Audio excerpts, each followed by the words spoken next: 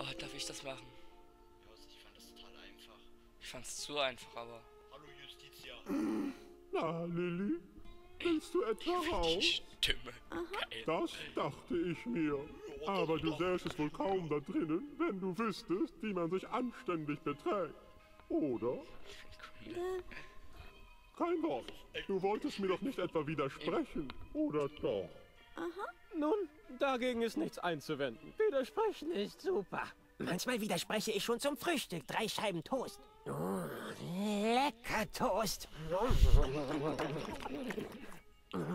Aber, aber das wäre gelogen. Und wir wissen doch beide, Du sollst nicht lügen. Lügen sind böse. Das stimmt nicht. Was? Natürlich sind Lügen böse. Warte, ich zeig's dir hier an der Tafel. Genau. Schau dir die Tafel gut an. Sie zeigt einige der Grundfesten unseres Rechtssystems. Zum Beispiel, dass Lügen böse sind. Ähm, Wie? Nein. Natürlich sind Lügen böse. Es lässt sich leicht aus den vier obersten Grundfesten ableiten. Gott ist gut und wahrhaftig. Der Teufel jedoch ist böse, mit viel Weisheit. Gott ist die Wahrheit, denn auch er ist voll der Weisheit. Der Teufel aber lügt mit all seiner Bosheit. Und darum sind Lügen immer böse. Die logische Kette, die einen dahin führt, kannst selbst du knüpfen. Es sind nur drei kleine Schritte bis zum Ergebnis. Versuch es doch ruhig selbst. Genau. Finde heraus, dass Lügen böse sind. Äh, Gott. Gott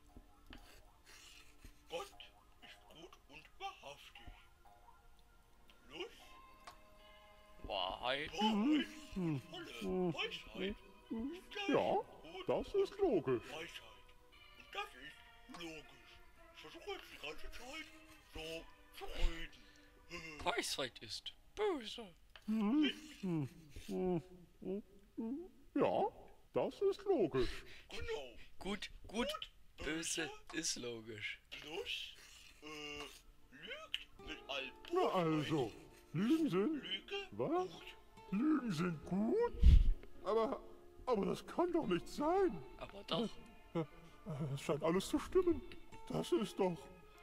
Nein, du hast mich besiegt. Und jetzt muss ich mich. Ich habe diesen Drang, mich selbst abzustechen. Und Erleichterung. Oh. Offenbar hatte sich Justitia geirrt. Wie es aussah, waren Lügen gar nicht so übel. Lilly hatte eine weitere Blockade gelöst. Yay!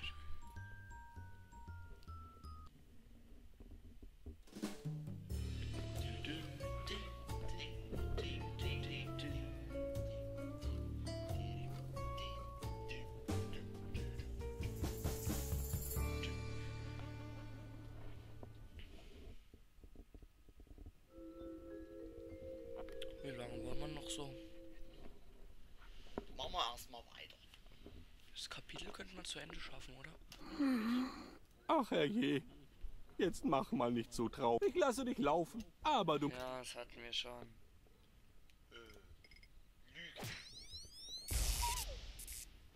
Lügen. Du versprichst es also? Nie wieder Unsinn, ja? Und du flunkerst auch nicht? Na gut. Dann werde ich dir wohl mal glauben müssen. Willkommen Oh. in der Freiheit. Ja. Ich hoffe, das ist dir eine Lehre. Solange es noch dunkel ist, solltest du lieber drinnen bleiben. Bei Nacht ist es da draußen viel zu gefährlich. Am besten, man bleibt zu Hause.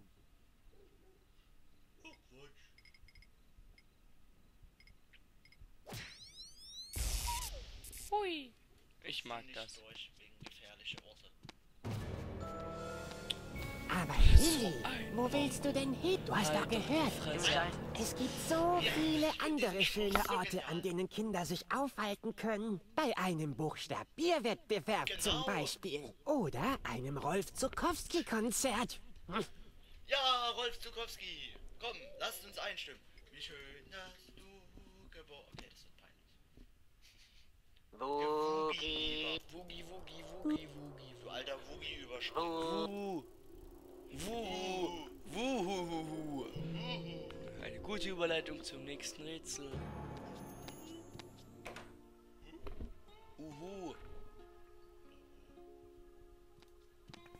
Jetzt kommt meine Lieblingsstelle. Hoffentlich. Irgendwo am Horizont. Ach nee, wir. Raus das Zigaretten. Ja, es kommt. Oh, hier kann man zurück. Also müssen wir nochmal per telepleptischen Dingern. Ja, telepleptische Dinger. Jo. Münzen auf die Schelle legen. Hi. Ich bin der Geist der vergangenen Weihnacht. Und Ich, ich, soll dir helfen, ein besserer Mensch zu werden. Nein.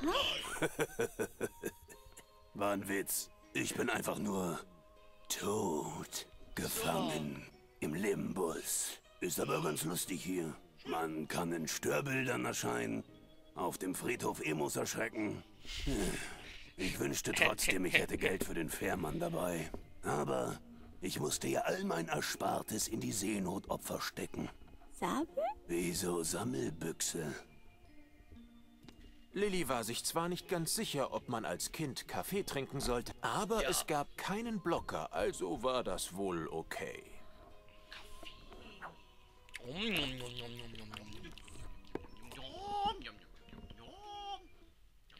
Ich glaube, das Kapitel war ein bisschen kürzer als das erste, oder? Ja, okay. Erstaunlich.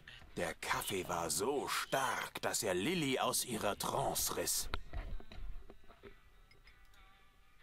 Der Barmann schlief scheinbar seinen Rausch auf. Lilly Willst du mich verarschen? Der Li, der Lilly, der Li, der Li, der Li, der Li, der Li. Tja. Cocktailkarte verprügelt. Der Barmann schlief. Der Barmann.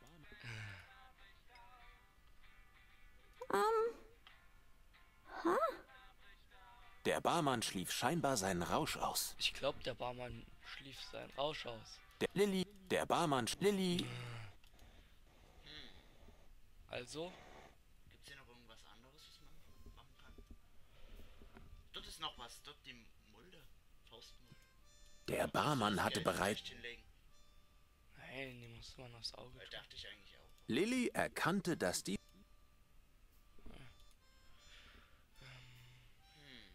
Rausgeht. Wo willst du? hast doch... Du.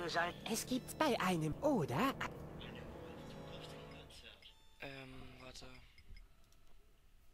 Ich glaube, wir müssen.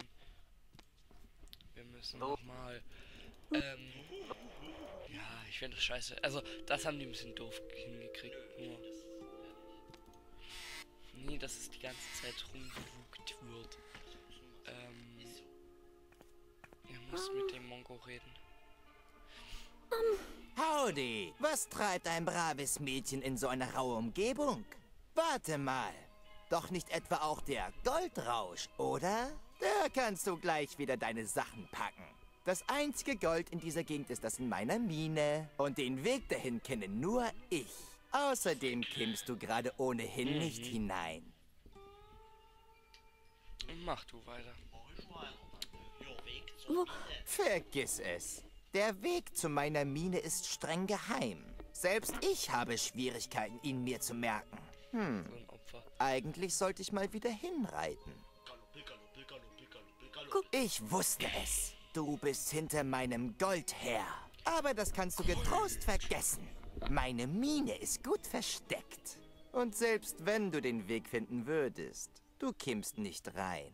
Der Eingang wird von einem Wendigo bewacht. Lilly hatte kein Interesse an der Mine, aber dieser Wendigo machte sie neugierig. Konnte es sich bei ihm um eine weitere Manifestation ihrer Blockaden handeln? Vielleicht lohnte es sich ja doch, nach der Mine zu suchen. Du weißt nicht, was ein Wendigo ist, oder? Tja, viel weiß ich auch nicht. Es ist irgend so ein indianischer Dämon, der mich am Betreten meiner Mine hindert. Wenn du mehr Infos brauchst, frag den Schamanen. Er treibt sich hier irgendwo rum. Hey, ja, ja, ja, hey, ja, ja, ja. brav. Du hättest, glaube ich, noch weiter mit dem. Nein. Ist da auch noch irgendwas mit dem Feuer? Ach, ich glaube, ich weiß, wie das mit dem Gold war. Ich weiß, wie du das Geld auf die Münzen legst. Ja? Ja. Dann mach. Hm.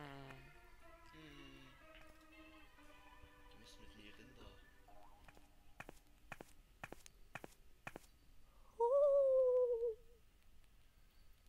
Huch. Bist du das Kleine? Sag mal, was hast du denn im Limbus verloren? Du bist doch nicht etwa...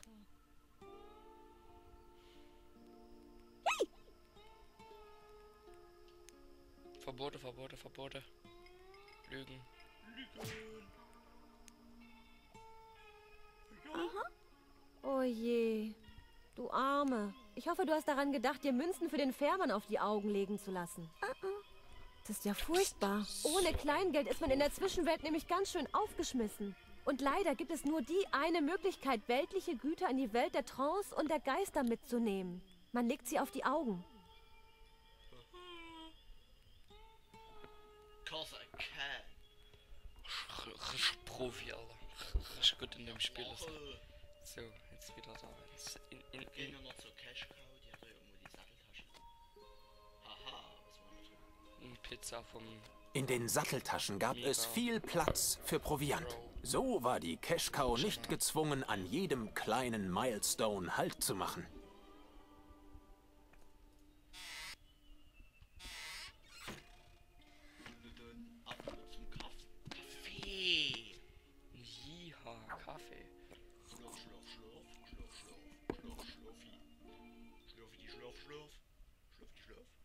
Schlurf, schlurf. Wuhugi. Unwugi. Wuhugi. Jetzt. it. Jetzt können wir endlich bemünzen. Nein. Lilly platzierte das Geld auf den Augen des Barmanns. Da er schlief, gab sie ihm nur ganz wenig Trinkgeld.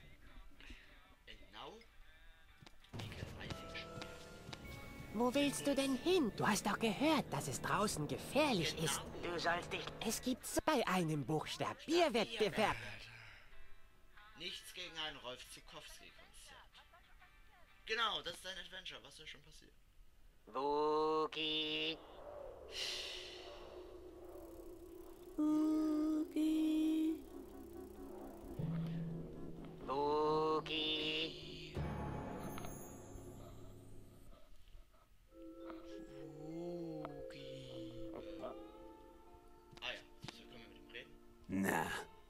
Wenn das mal nicht das kleine Mädchen aus der Bar ist. Schau mal, was ich hier habe.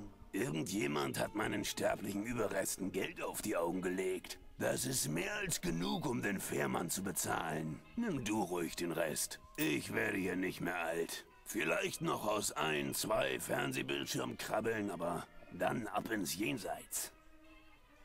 Na dann, Das ist mehr als... Nimm du... Und jetzt können wir rauchen.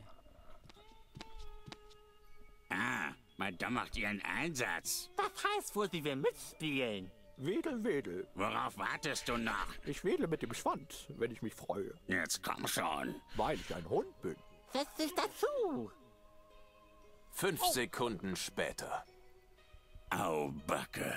Du bist die mit Abstand miserabelste Pokerspielerin, die ich jemals gesehen habe. Du hast nicht einmal deine Zigarre geraucht. Vergiss nicht, sie mitzunehmen. Ich habe Flöhe. Das ist aber schön. Bist ein Hund. Miau. Ein Hund. Ein Hund was drauf. Der konnte es auch irgendwie krank. Yay. Hi. BRB. Was sieht denn das?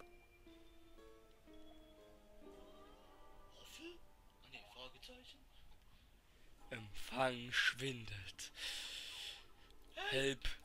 Lilly deutete die seltsamen Rauchzeichen so, dass der Schamane offenbar einen Marterpfahl suchte. Artig wie sie war, entschied sie, ihm dabei zu helfen. Skippen oder nicht skippen? Das ist hier die Frage. Nichts gibt niemals. Also ich weiß nicht wie und wo. Ich Ne? auch nur